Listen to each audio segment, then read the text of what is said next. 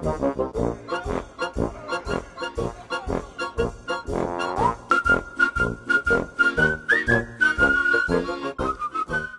guys, welcome back to my channel Midnight Blue. Today I'm going to be doing more painting things for fun. And this is part 2. I was planning for it on part 1 and I thought it would be a good idea. So today I'm going to be painting one of these kits from Lowe's and no this video is not sponsored. And so I thought it was a cool idea and I am going to be using a hammer for this because I need to build it correctly. So before I start this video, I just wanted to say that I'm almost to 40 subscribers. So to make 40 subscribers happen, all you have to do is click the subscribe button and press the notification bell next to the subscribe button to get notified every time I post a new video. And let's get on with the video. So the things that they provided me were two wheels, the weird stick thing that I suppose is the back, uh, bottom of the car, a nice little snack, and the top of the car.